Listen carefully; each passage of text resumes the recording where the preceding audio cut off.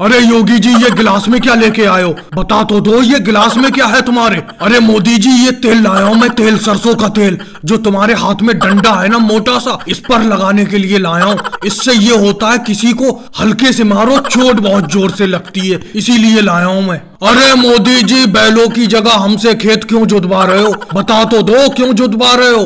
अरे इस बुढ़ापे में मैं कहाँ तक हल खींच पाऊँगा? मुझसे हल नहीं खिंचेगा।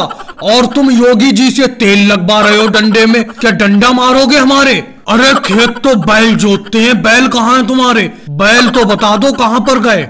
लालू जी, ज़्यादा टेंशन लेने की ज़रूरत नहीं है। बैलों को आज मैंने छुट्टी दे दी। बैल कह रहा था कि मेरे पेट में दर्द है, इसीलिए मैंने आज उसे छुट्टी दे दी। इसीलिए मैं तुम दोनों से खेत जुतवा रहा हूँ। ज़्यादा नहीं, हज़ार बीघा खेत है बस। हज़ार बीघा खेत जुतवा के तुम्हें छोड़ दूँगा। देखो, तुम ही बहाना कर रहे हो। अखिलेश कितना बढ़िया खेत जोत रहा है।